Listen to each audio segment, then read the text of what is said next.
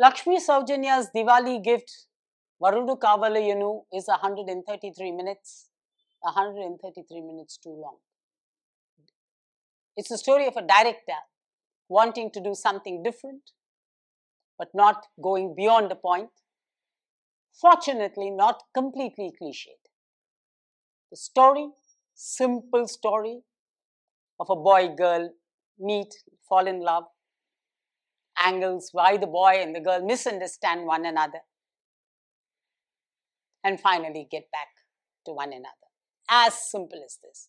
I'm sure the story, when told, would have been this boy in America, girl in India, both fall in love. Girl has attitude, boy has simplicity. Finally, they both get married. This is the story. How do you prop it up? So you have the girl who has a lot of attitude. You're going to know why she has it much later. Absolutely flimsy, wafer thin reason. The guy is a very calm, sweet, nice guy. No reasons for being so. He is. The, the path of both of them meet not once, but more than once. He comes to do a project. He runs into his benefactor and friend's father, Jayaprakash, who's also the financier boss for the girl, Bhumi, played by Ritu Varma, and the boy, Akash, is Nag Shaurya. And the Bhumi and the Akash is the love story that we're talking about. The problem with the film is the fulcrum to the film is Ritu Varma playing Bhumi. She fails to deliver. While she's amazingly well dressed in the film, amazing ethnic saris, both for her and for Nadhiya as her mother, she fails to carry out the burden of the script which is so dependent on her.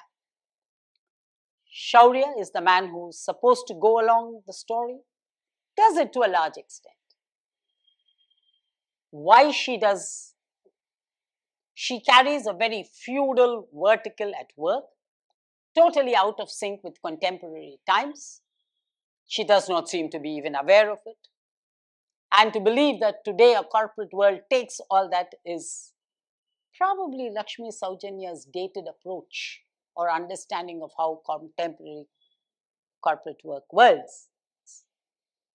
The two meet, there's obviously good chemistry between them, and then there are distractions as to why they can't marry one another. Finally, of course, you know by the back of your hand that they are going to meet up and all is going to end well. In terms of performances, Murali Sharma as the father and Nadhiya as the mother of the girl. Come up with very polished performances, apart from which Nadhiya showcases an amazing collection of good saris, which Ritu Varma also does in certain portions of the film where she's supposed to wear a sari, which has a cause again in the film. Nothing more to say about it. Two good comedies at the later part of the film which makes it worth watching for a few minutes.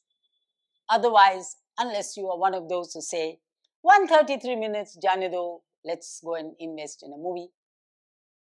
At least there's a feel good factor in the film. It's good on the eye, it's not shrill on the ear. And that is what Varudu Kaavalenu offers to you.